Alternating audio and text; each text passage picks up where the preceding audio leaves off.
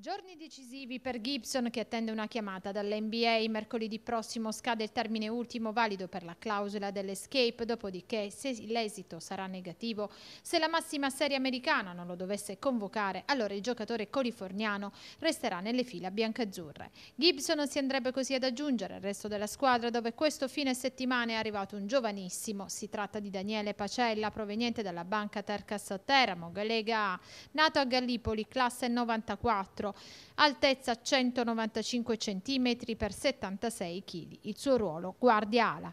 Pacella ha iniziato a giocare a pallacanestro nel 2006 nella nuova pallacanestro Gallipoli, distinguendosi a tal punto da destare le attenzioni dello staff del Teramo, che nel 2008 lo ha dapprima inserito nelle varie formazioni giovanili e poi successivamente nel gruppo della prima squadra. Dopo questo colpo di mercato però pare che la società non si sia fermata, ma al contrario stia accelerando per chiudere quanto prima con un alto atleta Gerai Grant, nipote di una grande stella americana, il campione NBA Horace Grant, vincitore di ben quattro anelli tra Chicago e Lakers. Una trattativa difficile per la società dell'Enel Basket, ma non impossibile.